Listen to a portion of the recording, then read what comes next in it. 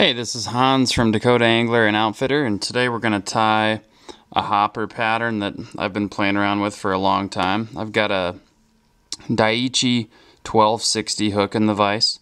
I've already put a base layer of thread down and then I've pierced a mm, little wider than an eighth of an inch piece of foam here, not quite a quarter of an inch piece of foam, right in the middle. It's about a four inch long piece of foam, three and a half inch long piece of foam.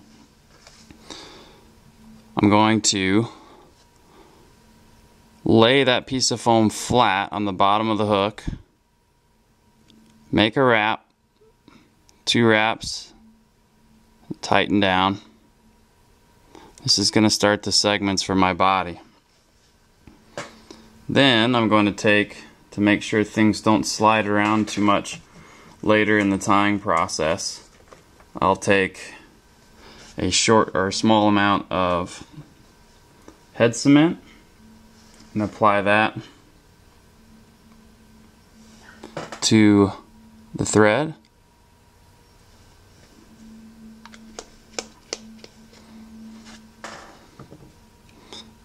Then what I'll do is I'll fold over the foam and right on top of where I made those first thread wraps I'll make a few more thread wraps just to make that first segment.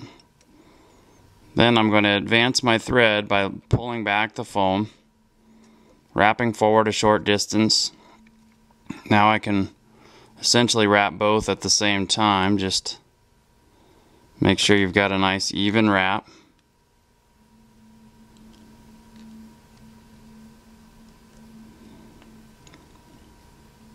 Tighten that down.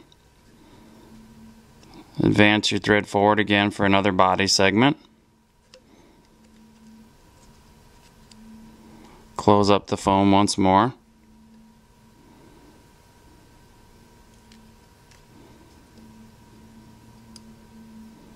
Wrap your segment. Double check your segments are turning out nice and even.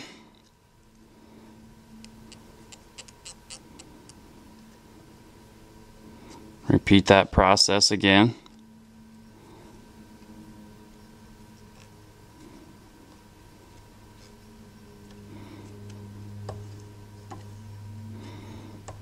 Make one more segment.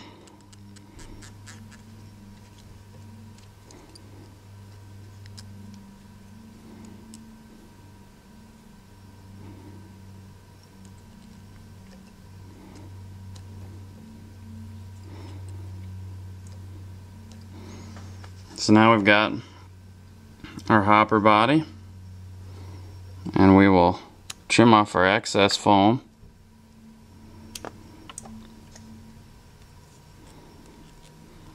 tighten up my thread wraps a little bit there. I'll trim off the extra foam at the front. I'm going to make an X wrap and I'm going to come back to that first segment.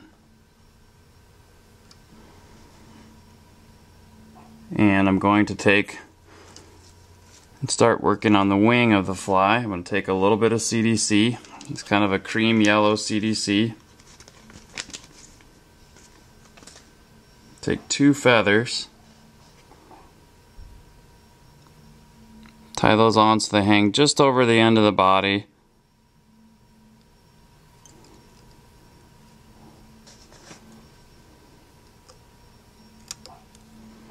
Then I'm going to take a piece of web wing, tan web wing, mottled web wing, tie that down.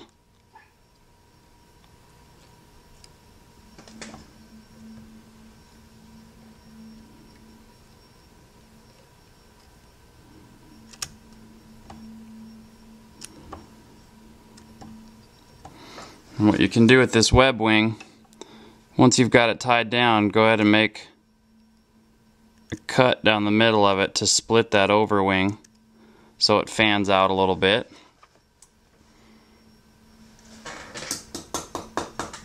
And just to add a little bit more visibility to that wing, I'm going to tie in a small elk hair wing on top. That should only go about halfway back on the body. So I'll make my cut first so I don't have to trim butt ends later. Tie that down. Compress.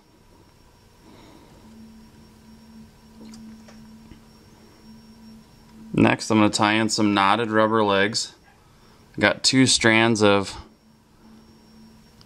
rubber uh, leg material in tan and medium that have been knotted and then on the bottom half you've cut away one of the segments.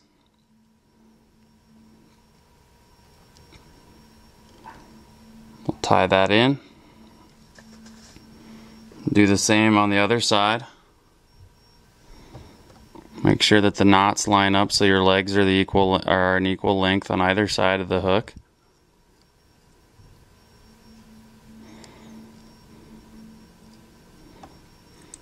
Trim off the excess.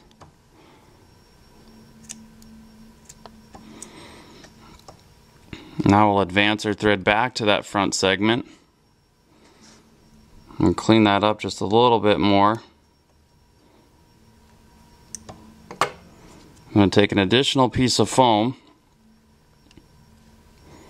fold that over and tie that down at the front of the hook, and then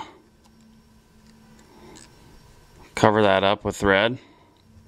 Make sure we're going to fold that back bullet head style. Just make sure that it's all good to go. Looks good.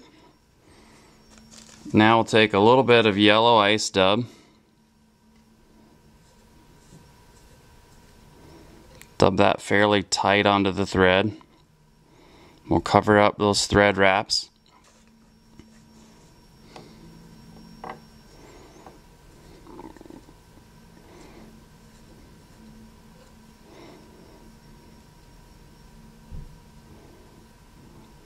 Just make sure that that ice dub is fairly tight.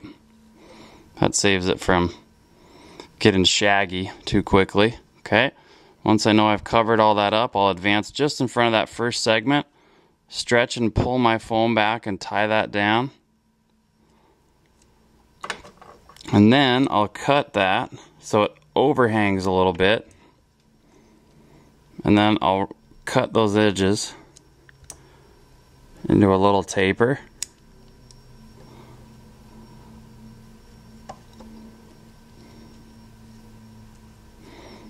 Just kind of make sure you didn't monkey up too much stuff there. There we go.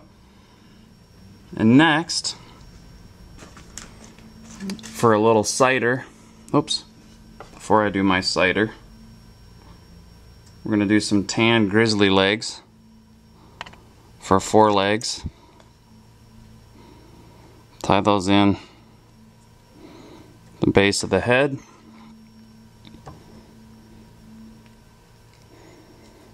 One set for either side.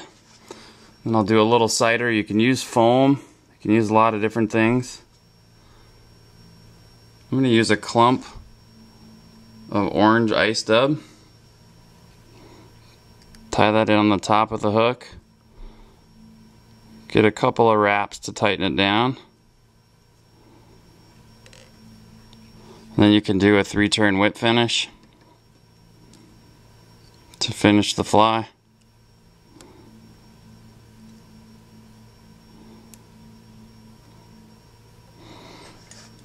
Fly is turning a little bit on me. I should have maybe used some super glue. Adjust that a little bit now. For my sighter, I'll just trim that. And there we have a finished hopper. It's got a nice profile underneath. Good overwing. It looks like a struggling hopper. You can dress it up a little bit if you want to um, mark up the, the back legs.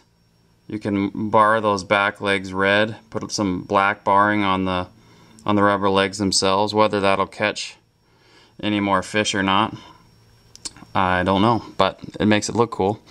So this fly borrows a lot from a lot of hopper patterns you've already seen, so I can't take sole credit, but I'll still call this Hans's hopper. And it's been working well for me the last couple seasons. I keep tweaking it, uh, but this is the latest version, latest and greatest. Again, I'm Hans from Dakota Angler and Outfitter from Rapid City, South Dakota. You can get the materials to tie these patterns uh, that, that are featured in our videos at flyfishsd.com. Come out and fish the beautiful Black Hills. Thanks for watching.